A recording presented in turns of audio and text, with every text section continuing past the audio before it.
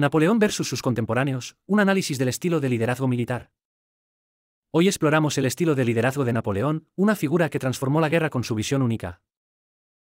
Mientras otros generales seguían tácticas tradicionales, Napoleón innovó con estrategias audaces, sorprendiendo a sus enemigos.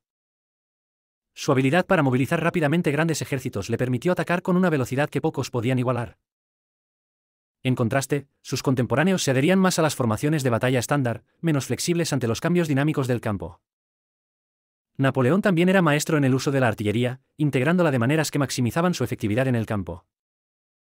A pesar de su genio táctico, el liderazgo de Napoleón exigía lealtad y sacrificio extremos, lo que a veces generaba descontento. Sin embargo, su legado sigue siendo un testimonio de su innovador enfoque del liderazgo militar, aún estudiado y admirado hoy.